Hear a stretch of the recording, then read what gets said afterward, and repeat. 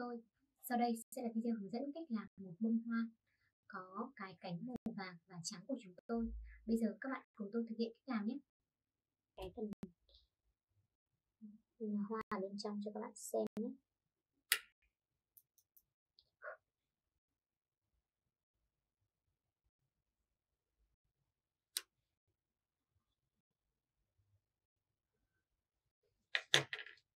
Mình sẽ cắt này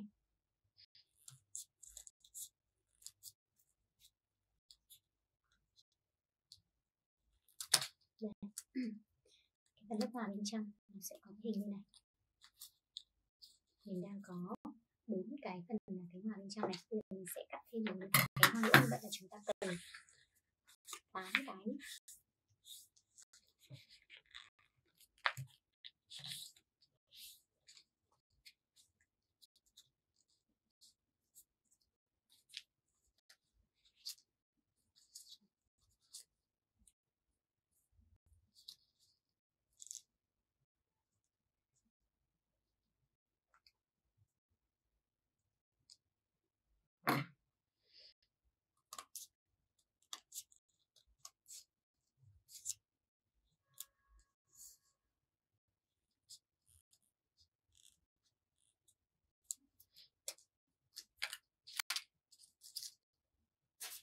Đây là nước những á.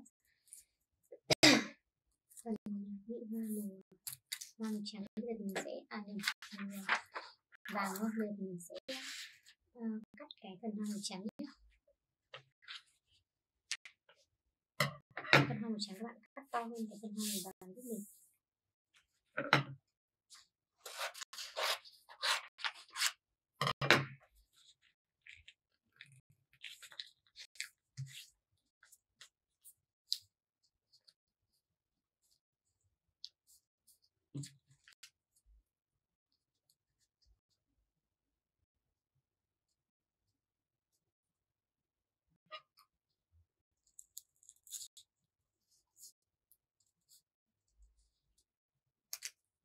Rồi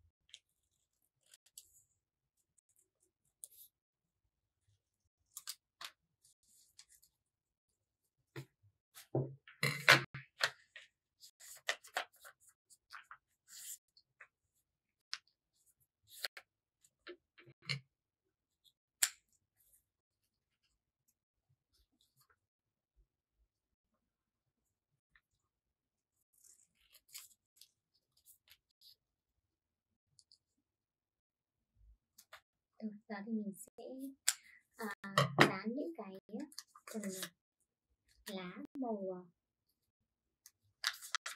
ừ, màu vàng các bạn lên trên cái phần màu trắng nhé.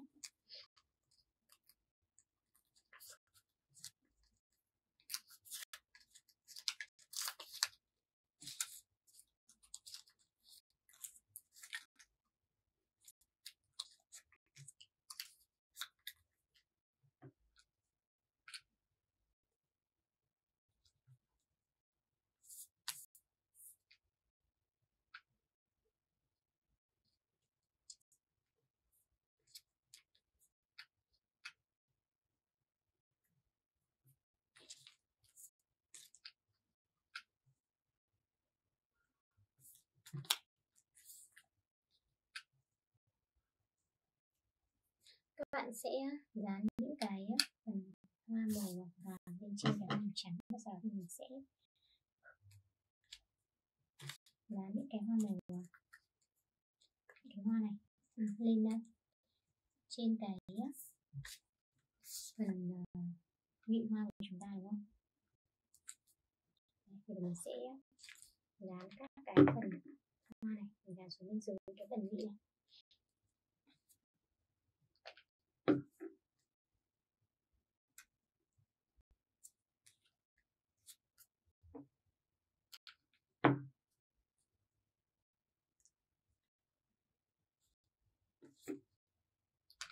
Thank you.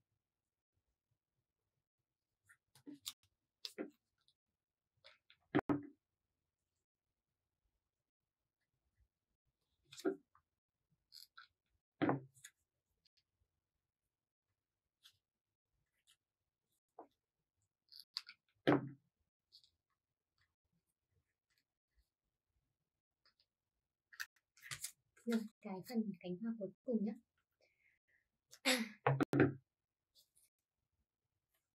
các bạn sẽ dán như này và sau khi dán xong thì các bạn sẽ điều chỉnh lại cái phần à, vị trí cũng như là uh, các cái à, phần uh, nối giữa những cái phần này nó đã chuẩn hay chưa nhé mình sẽ dán keo vào đây và mình cố định lại cái phần nhựa như này như vậy là chúng ta đã hoàn thành xong cái bông hoa với bốn màu như này rồi. Hẹn gặp lại các bạn ở những video tiếp theo nhé. Các bạn vừa xem xong video phân tích của chúng tôi. Sau đây sẽ là video hướng dẫn cách làm một chiếc mũ hình bông hoa của chúng tôi. Bây giờ các bạn cùng tôi thực hiện cách làm nhé.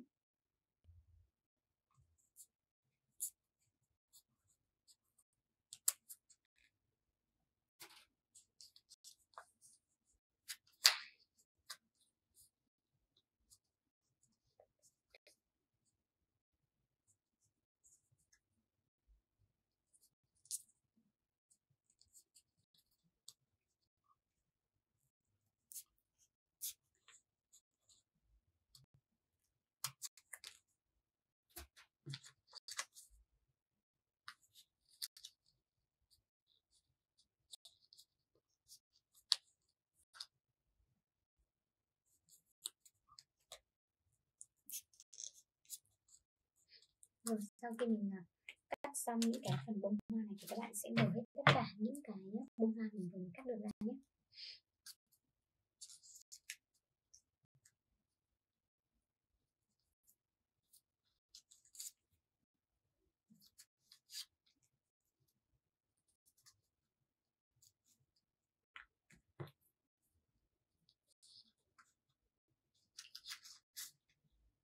Mình còn khá là nhiều những cái bông hoa như thế này.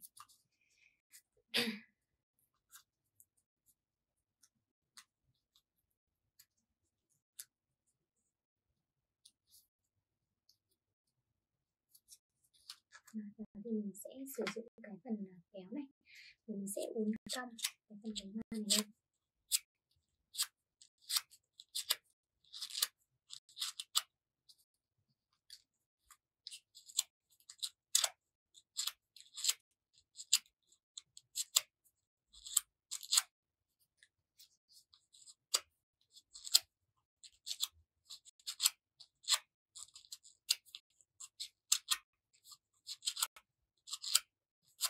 lên những cái phần bông màu xanh xanh nhạt hơn này thì các bạn sẽ uốn nó cong hơn một tí nữa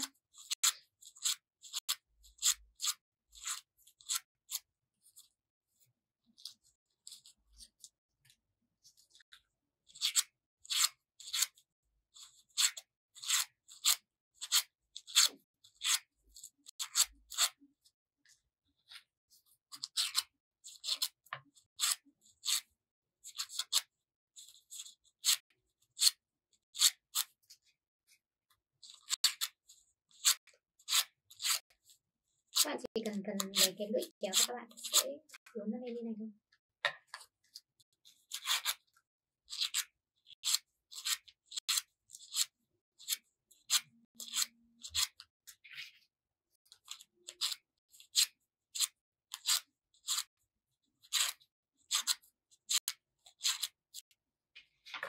Bây giờ mình sẽ